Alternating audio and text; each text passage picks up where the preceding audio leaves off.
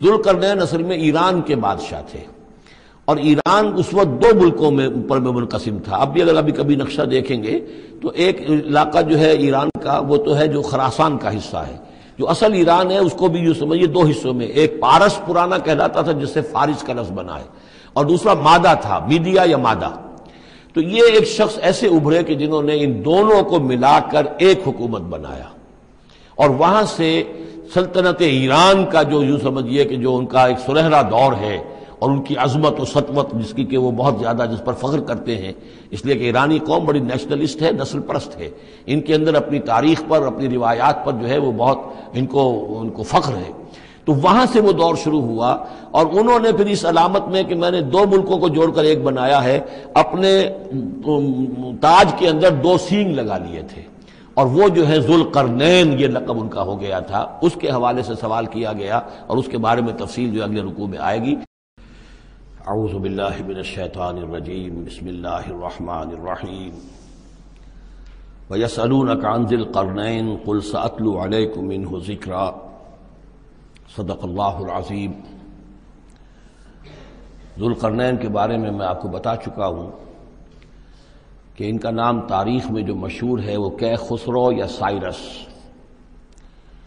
और इन्हीं से असल में ईरान की अजमत के दौर का आगाज़ हुआ था। चुनाचे तकरीबन मैं समझता हूँ कि शायद पच्चीस तीस साल पहले की बात है, जब शहनशाह ईरान उस वक्त जबकि उनकी बादशाहत जो है वो बड़े अरूज पर थी।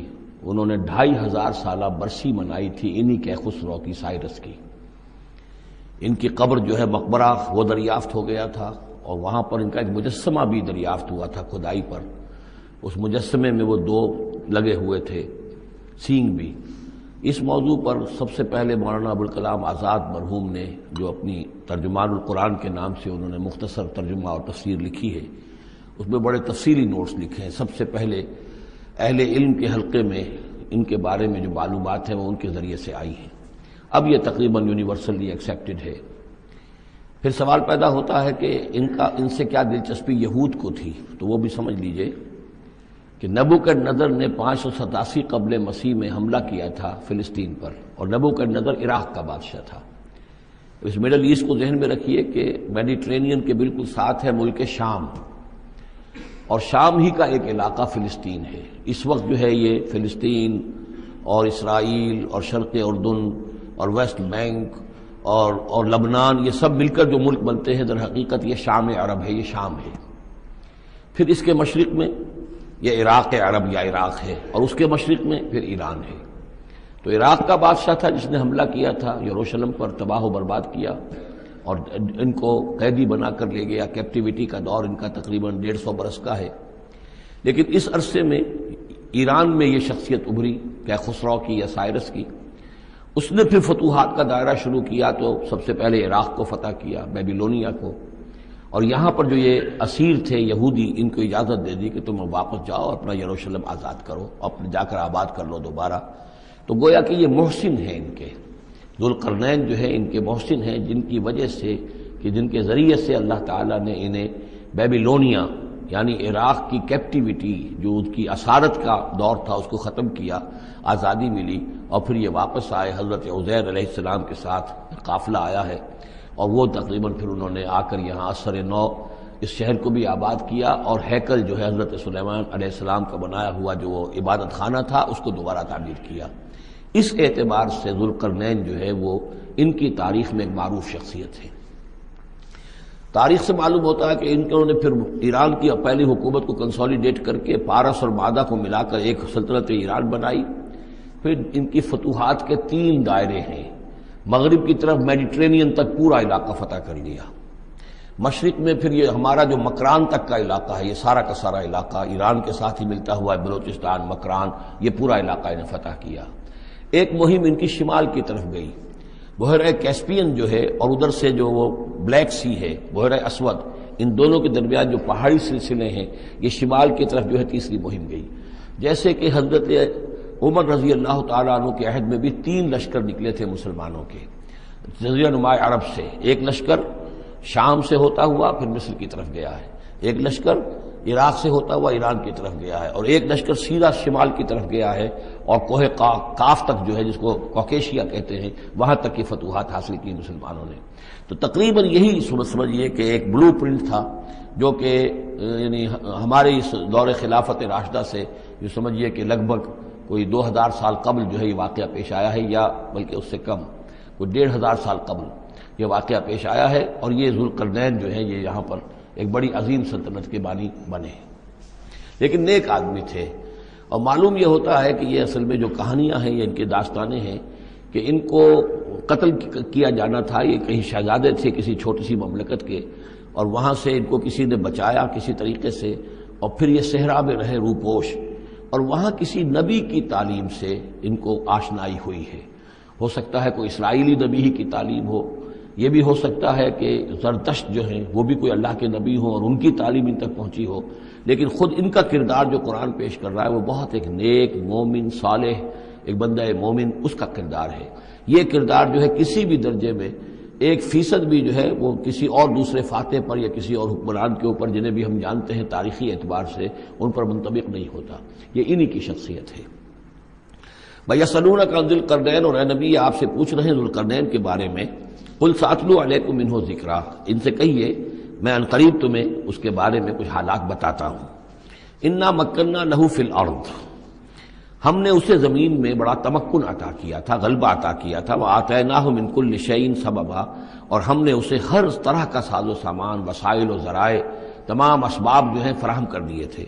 फातमा सबबा तो उन्होंने फिर एक मुहिम तैयार की। यानी एक फतूहत का दायरा मगरब की तरफ़। हत्या बलग मगरब शम्स यहाँ तक कि जब वो सूरज के गुरूब होने की जगह तक पहुँच गए। अब ये पुराने ज़माने में ज़ाहिर बात है कि पूरा इससे ज़्यादा नक्शा तो लोगों को मालूम भी नहीं था। जब मेडिट्रेनियन के साहिल पर पहुँच गए तो मालूम आगे तो समंदर है। और समंदर में फिर आदमी को महसूस होता है सूरज डूबता हुआ। अगर आप साहिल समंदर पर खड़े होकर देखें तो मालूम होता है समंदर में सूरज डूब रहा है। तो ये गोया कि मगरब शम्स बन गया उनके लिए, वो ये सूरज के डूबने की जगह। हत्या इज़ा बलग मगरब शम्स जब वो पहुँच गए सूरज के गुरूब होने की जगह वजह दहा तगरब फ़ियन हमेतिन तो उन्होंने देखा उसे डूबते हुए, वो डूब रहा है, एक बड़े गदले से, समंदर के अंदर, वो जो वहाँ का समंदर है, बड़ा गदला सा है, ये एजियन सी वगैरह जो कहलाते हैं, ये बहुत गदले से पानी के हैं।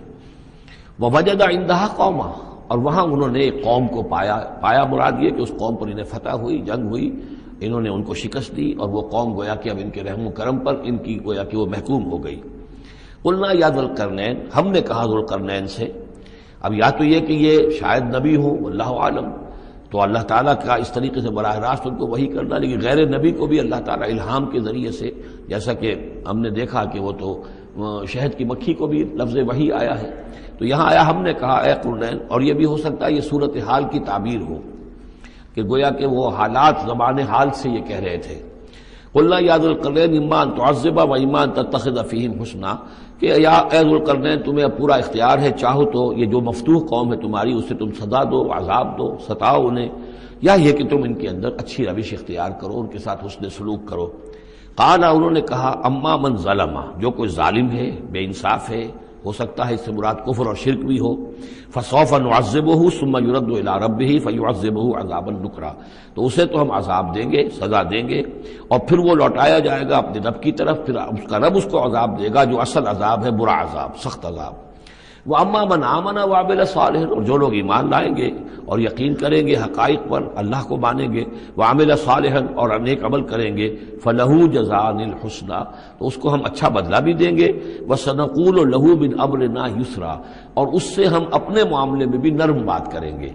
यानी यह कि उनसे टैक्स अगर लेने हैं तो नरमी के साथ लेंगे, जो भी जो मफतूहा ममालिक के साथ मामला होता है तो हम उनके साथ नरमी का सलूक करेंगे, जो ईमान ले आएँगे सुम्मा अतबा सबाबा मगरब की तरफ़ से फारिग होकर फिर अब ये मशरक की तरफ़ गए। फिर उन्होंने एक और मुहिम का बंदोबस्त किया।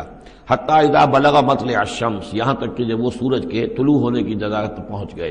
अब ये जहाँ तक तारीखी तौर पर साबित है, वो सिर्फ़ मकरान के इलाके तक इतनी दूर तक आए हैं वल्ला आलम। हो सकता है कि मकरान के साहिल पर खड़े होकर भी उन्हें महसूस हुआ हो कि बस अब ये सूरज जो है कुरूब हो रहा है, या तुलू हो रहा है वहाँ से। मतलब शम्स तो वहाँ जब पहुँचे वजदहा ततलो अला कौमिन लब नज़र नहम मिंदून हासितरा तो उन्होंने पाया उसको कि वो तुलू होता है एक ऐसी कौम पर कि जिसके लिए हमने आफ्ताब से कोई ओट नहीं रखी है। यानी यहाँ के जो कबाइल थे, गैड्रूसिया वगैरह ये कहलाता था उस जमाने के अंदर, ये वैशी कबाइल थे। इनको अभी छत बनाने का फन नहीं आया था। यानी घर जो होते थे, वो सिर्फ़ दीवारें खड़ी होती थी। कि जो खाली प्लॉट है ज़मीन का, उसमें ये दीवार खड़ी है, ये मेरा घर है तुम्हारा घर है, लेकिन घर में छत वगैरह का भी कोई तस्वुर इनके यहाँ नहीं था। ज़ाहिर बात है कि छत डालना जो है, ये तो एक तमद्दन के इरतका के दौर की अलामत है। तो वो बगैर किसी सूरज के साय के वो अपनी ज़िंदगी गुजारते थे। कजालिक ऐसा ही हुआ वहाँ भी, यानी जो पहले हुआ था कि यहाँ भी मामला वही हुआ कि अल्लाह ताला ने इख्तियार मुतलक उन्हें दिया, फतह दी। लेकिन उन्होंने यहाँ भी यही कहा कि जो नेक लोग होंगे, उनके साथ हम नरमी करेंगे और जो शरीर होंगे, उनको सच सजा देंगे। वक़द आहतना बिमा लदेह खुबरा, और हमें हमें पूरी तरह मालूम है कि जो वहाँ उसकी खबर हुई और जो भी हालात वहाँ गुजरे, जो माजरा वहाँ हुआ। सुम्मा अतबा सबबा, अब ये तीसरी आ रही है। सुम्मा अतबा सबबा, फिर उसने एक और मुहिम तैयार की। ये शिमाली मुहिम है। हत्याजा बलगा बैन सद्दैन। यहाँ तक कि जब वो दोनों पहाड़ों के दरमियान पहुँच गए दो सद दो दर, दो दीवारों के दरमियान पहुँच गए। तो ये समझ लीजिए बोहरा कैस्पियन। दाहरी तरफ़ है मशरक में। बोहरा असवद बहर असवद। इसके दरमियान ये सिलसिला को है। और ये पैरल चलते हैं। दो दो और इनके दरमियान से फिर वो दरे हैं कि जिनमें से होकर शिमाली इलाके से जो वहशी कबाइल थे वो आकर यहाँ हमला करते थे, ताख्त ताराज करते थे लूट मार करके चले जाते थे, जिनको याजूज माजूज कहा गया है। हत्या बलगा बैन सद्दैन, जबकि ये पहुँचे उन दोनों दीवारों के दरमियान। वजद मिंदू ने हिमा कौमन तो उन्होंने पाया उन दोनों के बरे। ऐसे लोगों को, ला यकादू न यफकहू न कौला। ये लोग भी ऐसे थे गैर मुतमदिन क्योंकि बात समझते नहीं थे। यानी जबान ऐसी होगी कि जो इनकी समझ में नहीं आ रही थी। लेकिन यह कि किसी न किसी नज़रिए से उन्होंने अपना एक मतलब अपनी एक अर्जदाश्त पेश की। कालू याजल कैद उन्होंने कहा कि एजुल करनैन इन याजूजा व माजूजा मुफसदून फिल अर्द। याजूज और माजूज जो कौमें हैं, ये ज़मीन में बहुत फसाद बचाने वाली हैं। फहल न जालू का खर्जन तो क्या हम आपके लिए एक सालाना खराज मुकर कर दें? अला अला बैनना व बैन सद्दा। इसके एवज के आप हमारे और उनके दरमियान एक सद तामीर कर दें, एक दीवार हाइल कर दें कि वो हम पर हमला आवर ना हो सके। इन दरे को बंद कर दिया जाए। यूँ समझिए जिस उसूल पर कि आजकल डैम बनते हैं। डैम क्या है कि एक पहाड़ी सिलसिला यूँ आ रहा है, एक पहाड़ी सिलसिला यूँ आ रहा है। दरिया दरम्यान में से गुजर रहा है। आपने गुजरबाह गुजरगाह पर एक दीवार खड़ी कर दी। तो ये गोया कि एक आर्टिफिशियल लेक क्रिएट हो गई, पानी यहाँ जमा हो रहा है। तो अगर पहाड़ी सिलसिले दो चल रहे हों, उनके दरमियान जो रास्ता है, उसको अगर बंद कर दिया जाए, एक दीवार खड़ी कर दी जाए, और उस दीवार के मज़बूत दीवार हो तो ज़ाहिर बात है कि फिर उधर से कोई आकर हमला आवर नहीं हो सकता, उनके लिए एक हिफाजत का सामान हो जाता है। यहाँ ये समझ लीजिए कि याजूज माजूज से क्या मुराद है। हज़रत याफिस सलाम, जो तीन बेटे थे, हज़रत नू सलाम के साम, हाम, यासिफ, याफिस। सामी नस्ल के बारे में तो हमने बहुत कुछ समझ लिया। कि हज़रत इब्राहिम भी सामी नस्ल से थे, फिर कौम आद भी साम ही की नस्ल की एक शाख थी, कौम समूद भी उसी की शाख थी। ये तमाम जो है, ये तो सेमेटिक रेसिस है। हज़रत याफिस की औलाद ने ये सेंट्रल एशियन माउंटेन्स का जो सिलसिला है, उसको क्रॉस किया और शिमाल में चले गए। और शिमाल में जाकर दाएँ बाएँ फैल गए। फिर ये मैदान है, टंडरे के मैदान और फलाने मैदान और बड़े बड़े खुले मैदान हैं। तो गोया कि एशिया को दरमियान में जो सिलसिला को है तकसीम कर देता है, एक शिमाली हिस्सा है, एक उसका उसके जनूबी हिस्सा है। ये शिमाली में चले गए और जाकर फिर फैले। फैलने में वो मशरक की तरफ़ आए तो चीन और हिंद चीनी तक ये सारी कौमें जो है, ये येलो रेसिस ये उन्हीं की नस्ल से है। और मगरब में चले तो रूस और रूस से होकर रूस के साथ मिलता हुआ इलाका स्कैंडिनेवियन कंट्रीज़ के साथ। फिर वहाँ से वो उतर कर और यूरोप के भी जो ये मगरबी ममालिक हैं एंग्लो सेक्शंस जो हैं ये भी दर हकीकत उसी से स्कैंडिनेवियन कंट्रीज़ से उतरे हुए लोग हैं। तो यूँ समझ लीजिए कि वेस्टर्न यूरोप और ईस्टर्न यूरोप का, का भी खास तौर पर शिमाली इलाका और पूरा ये रूस का इलाका और पूरा सहराय गोभी और पूरा चीन और वहाँ तक जो है हिंद चीनी तक ये याफिस की नस्ल है। याफिस के जिन बेटों के नाम तौरात में आए हैं कई नाम है वो कोई एक, एक दो नहीं उनमें गॉग एंड मैगॉग भी है तोबाल भी है मॉस्क भी है मॉस्क एक शख्स का नाम है। और मॉस्को हो सकता है कि उसी से उसी ने आबाद किया हो और वहीं से वो नाम बना हो। तोबाल और बाल्टिक सी जो है इस एरिया के अंदर जो है बाल्टिक स्टेट्स तोबाल तोबाल उनके एक बेटे का नाम था। ये तौरात के अंदर नाम दिए गए हैं। गॉग एंड मैगॉग जाजूद माजूद ये भी उन्हीं के बेटों के। ये तमाम अकवाम जो है ये वहशी हैं। और ये ताख्त ताराज करना लूट मार करना, ये इनका तरीका है। और इनका है ज़िक्र जो यहाँ पर हो रहा है। तो ये जो सैलाब आया था कॉलोनियल सैलाब जो हम पर आया था, जिसमें कि एंग्लो सेक्शंस थे, ये सब के सब जो है, ये इसी नॉर्डिक रेसिस से हैं, ये भी याजूज और माजूज की नस्ल है। एक सैलाब इनका आ चुका है, जो आया था यूरोप के से निकल कर ये कॉलोनियल सैलाब आया और पूरी दुनिया के ऊपर छा गया था, एशिया और अफ्रीका को इन्होंने फतह किया कॉलोनाइज किया। अब अगर अगरचे उनकी वो बिसात एक दफ़ा तो लपेट दी गई है, वो वापस चले गए हैं। इनडायरेक्टली हम पर हुकूमत कर रहे हैं, अभी उनके जो मल्टी हैं उनके ज़रिए से, या बैंकों के ज़रिए से आईएमएफ के ज़रिए से वर्ल्ड बैंक के ज़रिए से इनडायरेक्ट हुकूमत है, जो न्यू वर्ल्ड ऑर्डर है। लेकिन यह है कि अभी एक और जो सैलाब इनका आने वाला है वो आता है अहवाल क़्यामत के मामला में। आर्मगडॉन के बाद जब हज़रत मसीह का नदूर हो चुकेगा और यहूदियों का खात्मा हो चुकेगा और फिर ये कि तमाम जो ईसाई हैं, वो मुसलमान हो जाएँगे। ईसाइत ख़त्म हो जाएगी हज़रत मसीह सलाम के आने के बाद और मुसलमान और ईसाई मिलकर एक मिल्लत बन जाएँगे, सब मुसलमान होंगे। उसके बाद आखिरी सैलाब फिर आना है, जो इसके खिलाफ वो अहादीस में आता है, फिर वो याजूज और माजूज का होगा। और मेरे नज़दीक ये याजूज और माजूज जो है, वो ईस्टर्न इलाके से आएँगे, चाइना वगैरह से, हिंद, चीनी से। आर्मगडॉन जो अभी होनी है, फौरी तौर पर बड़ी जंग, उसमें ये लोग जो है, बैठे रहेंगे, ये जंग में हिस्सा नहीं लेंगे। ये मिडिल ईस्ट में जंग होगी यूरोपियन पावर सारी होंगी क्रिश्चियन पूरी ताकतें होंगी और इधर जो है मुसलमान होंगे और हज़रत मेहदी जो ज़ाहिर होंगे जो अल्लाह ताला एक इनायत करेगा मुसलमानों को लीडर अरब के अंदर वो पैदा होंगे मुजद होंगे और उनके उन, उनके ज़रिए से अरब के अंदर एक इस्लामी हुकूमत भी कायम होगी। लेकिन उनके लिए मदद के लिए खुरासान के इलाके से फौजें आएँगी मशरक से आएँगी और ये इलाका जो है वो है जो हमारे करीब है और हम भी उसी इलाके में हैं। अल्लाह ताला हमें तोफ़ी दे। कि यहाँ वो हम पहले इस निज़ाम में खिलाफत कायम करें, ताकि यहाँ से फिर फौजें जाएँ और हज़रत मसीह के साथ होकर और हज़रत मेहदी के साथ होकर ईसाइयों और यहूदियों के साथ जंग करें और बिल आखिर फिर यह कि पूरी दुनिया में इस्लाम का बोलबाला होगा। लेकिन जब ये हो चुकेगा, उसके बाद एक सैलाब फिर आएगा, याजूज और माजूज का। तो ये चूँकि पूरी एक सिलसिला है एक एक नस्लें हैं इसके अंदर बहुत सी तो इनमें चूँकि तफसीरी एतवार से बहुत सी बातें जो है मुख्तलिफ़ आरा भी सामने आएँगी तो मैंने जो राय मेरी है वो आपके सामने बयान कर दी है।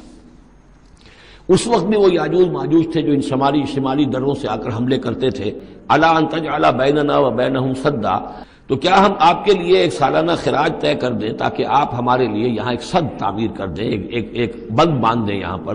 काला माँ मक्कनी फ़ी रबी खैर। अब देखिए उनका किरदार, उनका मुझे जो कुछ मेरे रब ने दे रखा है, दौलत दे रखी है, माल दे रखा है, वो बहुत बेहतर है उससे कि जो तुम मुझे पेश कर रहे हो। मुझे खराज की ज़रूरत नहीं है। हाँ तुम्हारी एक ज़रूरत है, मैं वो पूरी कर देता हूँ।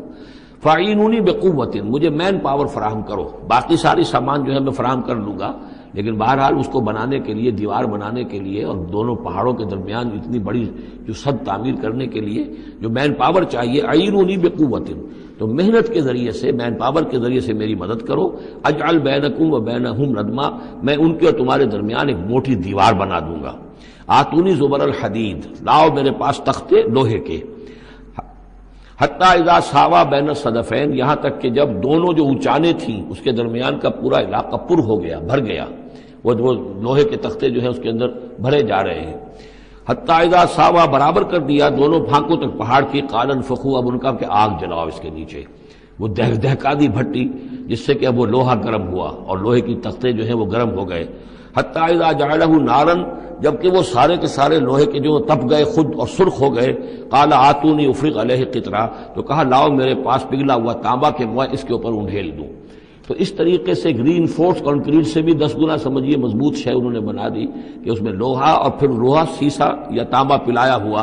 तो इस तरीके से एक बड़ी मज़बूत दीवार कायम कर दी। इस दीवार के जो आसार अब भी मौजूद है, दीवार तो मौजूद नहीं है। ये दारियाल और दरबंद के दरमियान ये कुशादा रास्ता है अब भी। ये वेस्ट कोस्ट जो है, कैस्पियन का उसके साथ। इसकी लंबाई पचास मील और इसकी ऊंचाई उनतीस फुट और दस फुट चौड़ी ये दीवार थी। जो उस वक्त बनी है। यानी जिस तरीके से के बनते हैं बड़े बड़े बंद, उनसे भी बड़ी ये थी, सद ताबीर की गई। असदुल आली कहलाता आसवान डैम जो है, जो मिस्रियों ने बनाया था, बहुत बड़ा डैम असदुल आली, ऊँची दीवार। तो हमारे यहाँ ये तरबेला और मंगला, ये सब क्या है? ये इसी तरह के डैम है कि पहाड़ी सिलसिले आ रहे हैं, दरिया जा रहा था, वहाँ आपने दीवार खड़ी कर दी पानी रुक गया और वो झील बन गई। फमस्ताऊ यजहरू हो। तो उन्होंने कहा कि अब ये लोग ना तो ये इस पर, इसके ऊपर से आ सकेंगे, इसको न चढ़ सकेंगे वह मस्तताऊ लहू नकबा ना इसमें कोई सुराख लगा सकेंगे नकब लगा सकेंगे। काला हाजा रहमत मिन रबी ये सब इतना बड़ा कारनामा करके भी उन्होंने कहा यह सब रहमत है मेरे रब की तरफ़ से, मेरा कोई कमाल नहीं। ये सब अल्लाह की तरफ़ से है। फैजा जा वाद रबी और जब मेरे रब का वादा आएगा जा लहू दक्का वो इस पूरी दीवार को जो है रेजा रेजा कर देगा, खत्म हो जाएगी दीवार। अब वो रिवार दीवार वहाँ मौजूद नहीं है, वो खत्म हो चुकी है, इम्तदाद जमाना से, अब उसके कोई आसार बाकी नहीं रहे। बस आसार मालूम हो जाते हैं कि यहाँ यहाँ वो दीवार होती थी, जिससे ये मैंने डायमेंशन आपको दिए हैं। वह कान वाद और रबी हक्का, और मेरे रब का वादा जो है, वो हक है, सच है, पूरा होकर रहेगा। वह तरकना बाज यौमजी यमूज फ़ी बाजिन अब जब ये वक्त आएगा, अल्लाह ताला का क्यामत का वक्त तो हम छोड़ देंगे उस रोज इनको, ये एक दूसरे में गुत्थम गुत्था हो जाएँगे। ये जो कुछ होने वाला करब क्यामत से पहले, जिस किस्म के लश्कर आने हैं और जैसी जंगें होनी हैं, और ये जो याजूज माजूज जब आएँगे तो आता है अहादीस के अंदर के पूरे ये पूरे पूरे दरिया, पूरे पूरे समंदर पी जाएँगे, हर चीज़ खा जाएँगे। और ये मालूम होता है कि चीनियों के हाथ तो खासतौर पर सांप, बिच्छू, जो शय हो, कुत्ता, बिल्ली, हर शय चट कर जाते कोई शय नहीं छोड़ते। अब मैं समझता हूँ कि शायद आदमखोर भी हो ये कि किसी वक्त में जब इनको ज़रूरत पड़े तो आदमी को भी खा जाए, जो कुत्ते को, बिल्ली को, सांप को, बिच्छू को, हर चीज़ को खा जाते तो इन लोगों का मामला जो है वाकता ये जब अभी तो जरा रुके हुए हैं कंटेन्ड है एक तरह से लेकिन एक वक्त में इनका बंद खुलेगा। और चूँकि फिर ये जो है तमाम चारों तरफ़ इनके पहाड़ हैं हर पहाड़ की ऊंचाई पर से बिनकुल हदबी सलून नीचे उतरते हुए नज़र आएँगे। और ये नक्शा बैन ही इसी तरह अखबार में आया था जब 62 में वार हुई है नीफा में जो हिंदुस्तान का मशरकी जो इलाका था जहाँ के चीन और, और भारत की जंग हुई है तो उसके अल्फाज जो अखबार में आए थे waves after waves of Chinese soldiers were coming down the slopes लहरों की तरह, मौजों की तरह चले आए। उनके तो इतने आदमी हैं। उनका तो कहना यह है कि तुम सब के सब हलाक हो जाओगे, हमें तुम हलाक नहीं कर सकते। हम तो चींटियों की तरह जो है, बिलों के अंदर घुस जाएँगे। एटॉमिक वारफेयर के बाद तुम्हारा तहस नहस हो जाएगा, हमारा कुछ नहीं बिगड़ेगा। हम फिर निकलेंगे और पूरी दुनिया को फतह करेंगे, वो ये कहते हैं।